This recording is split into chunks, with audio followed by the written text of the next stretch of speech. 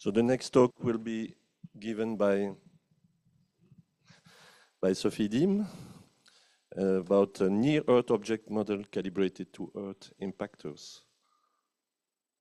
So you have actually 12 minutes for the talk.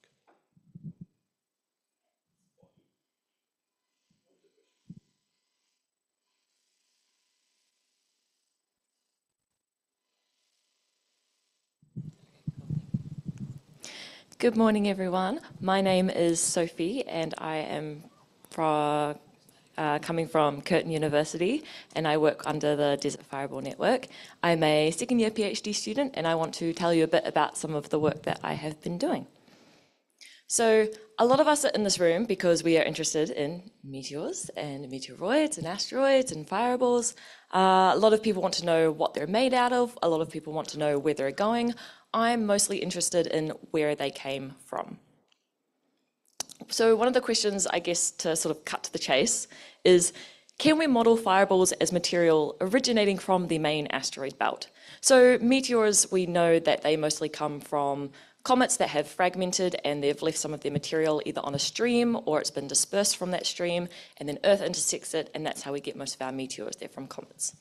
We know that a lot of the near Earth objects that are asteroidal and like one kilometer, half a kilometer, they have migrated from the main asteroid belt. They've come to near Earth space and their mechanism of coming here is slightly different.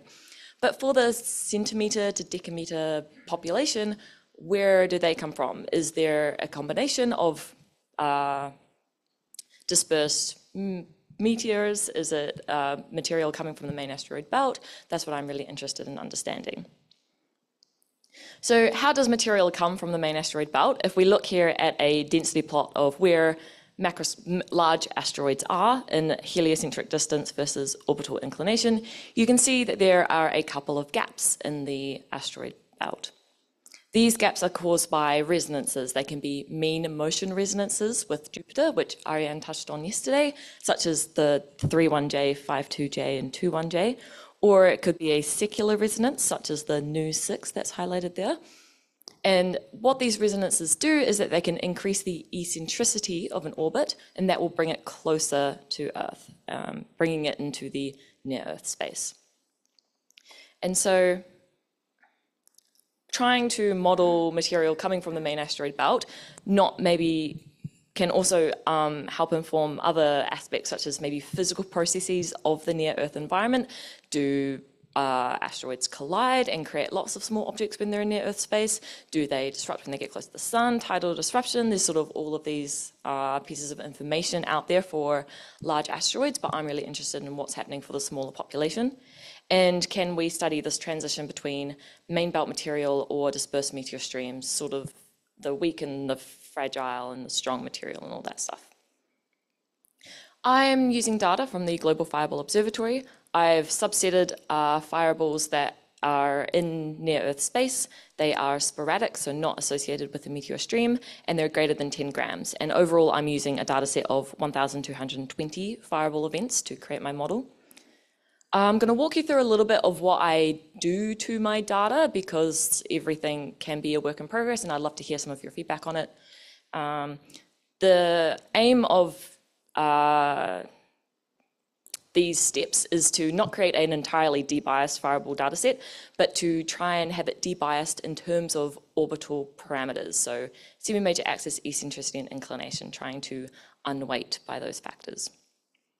The first thing I account for is detection efficiency. So I'm trying to boost up the numbers of the small and slow objects. So assuming that detection efficiency is just directly related to how bright the fireball was, that would be the intensity as a function of velocity to the power of five and mass to the power of two over three. Um, I weighted a subset of fireball data till it matched the debiased distributions of the CAMS data from Jenniskens's 2016 paper, and I found that this weighting was affecting masses smaller than 500 grams. So I apply some sort of weighting to account for detection efficiency. I then want to weight my data by its Earth impact probability. So trying to replicate what objects are actually out there, but we can only see the objects that we encounter with the Earth. So this involved only uh, looking at its most recent history for a fireball event, not looking at its long-term dynamics. Uh, so this was created with some numerical integrations with Rebound, um, figuring out which fireballs spent more time close to Earth as far away from Earth for the moid distance, and then using that as a relative weighting between fireball events. And this is the most significant weighting for the data set, and it spans about six orders of magnitude. So it's a really strong factor as to in the debiasing step. And I account for gravitational focusing. Uh, I then bin the data. So looking at this top line, it sort of says GFO as a function of semi-major axis, eccentricity, inclination, and H. I'm working in absolute magnitude, but that's basically just the log space of mass. And so you can consider that's just a size factor. And we've got large step sizes such that we're kind of uh, able to encompass most of the observational uncertainties within just the binning and lastly, I was scaling up the total numbers that we were observing to the expected impact flux of the Earth. Um, this is currently not a free parameter in the model, it's just some information put in, so it doesn't really have too much of an effect in the end. And so what I'm wanting to do is I'm wanting to take my quote unquote debias fireball distribution and I'm trying to match it up with a residence time distribution. A residence time distribution is where we would expect objects to be in near Earth space if they've come from the main asteroid belt. So you can see if we were to populate, I say we, this is um, some models that I've taken from David Nesvorny and using his simulations. Uh, so if you were to put some particles into a resonance and then you integrate it over time, you will get an orbital distribution of where you expect those particles to be. You can see a bit of a density map here in semi-major axis and eccentricity on the left and semi-major axis and inclination on the right. And so this is where we expect particles to be if they come from the main asteroid belt. And so we can try and figure out what combination of these different distributions create what we see. So there are 12 different source regions that um, David created, and one of them is the Jupiter family comet region. Uh, there's some inner belt combinations, and most of them are other mean motion resonance, mean motion resonances with Jupiter. So what I'm interested, or I've been interested in so far, is just figuring out what fraction of these sources create the GFO population, and it's a free parameter alpha, which is a function of size. So I'm looking at size dependence of these source strengths as well. And instead of a nice little handshake, it's um, some statistics. Um, we optimize this alpha parameter with uh, MultiNest, which is a MC-MC sampler um, using finding the maximum log likelihood and other interesting, not interesting stuff. Um, so if we were to take a combination of five sources and we each source was to have five, four alphas, so the size dependence brings in more free parameters. So currently fitting for 16 free parameters um, with our 1,220 fireballs. Um, a lot of this progress has been sort of working with how much data do we have, how many free parameters can we actually fit for, what flexibility in the model do we have. So it's been a lot of trial and error.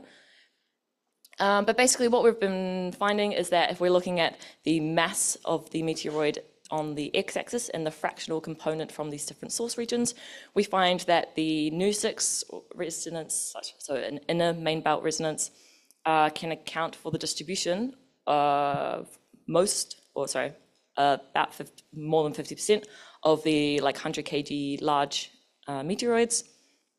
And then that fades out as you get to the smaller stuff. Um, the 3-1 resonance kind of as a continuous contribution, it seems to match and create fireball distribution kind of nicely. Um, then the 2-1 and 5-2 mean motion resonances have sort of a continuous contribution as well. And then finally, uh, the Jupiter family comet region seems like the nice fit for the distributions for the smaller objects. So looking underneath 1 kg, which is about halfway on this log scale, down to about 10 grams. So sort of seeing that transition between the maybe in about source things and Jupiter family comet source range, source things. Um, and just to note that NEOMOD, which is the current um, near Earth object model that predicts down to h equals 28 or 100 meters, which is way off to the left side of that plot. So um, we're working in a slightly different size space to other near Earth object models at the moment. And so what you can do is then once you know, create a combination of these source regions, you can then sample that model. And so if you were to look at the GFO data that's been weighted and scaled, and then you take 12, uh, the same number of samples from the model predictions, you can then compare the distributions of the output. Um, and one thing, I, two things I want to draw your eye attention to is that the semi-major axis distribution for the model has more of a hump at 1 AU, and so I think that's because we are not taking into account any collisional effects. So we currently haven't taken that into account, so there are lots of evolved orbits. And so that is one of the next things that we want to introduce, and then hopefully we can get that distribution to match a bit more.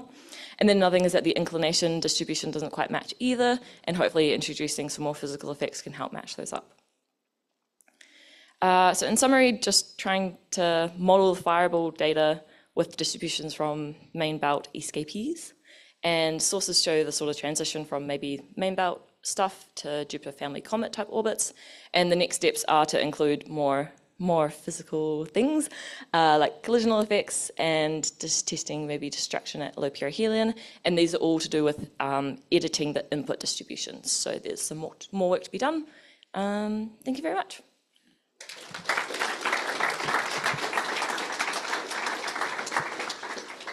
Thank you very much, Sophie.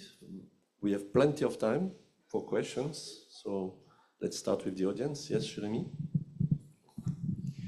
Um, when you do the numerical integration, do you take into account the non-gravitational forces because it's going to make a huge difference for the dynamics? Currently, no. Okay, so it's all gravitational and based on NeoMod, basically, the, the whole thing. Okay, thank Yeah. you. Other questions?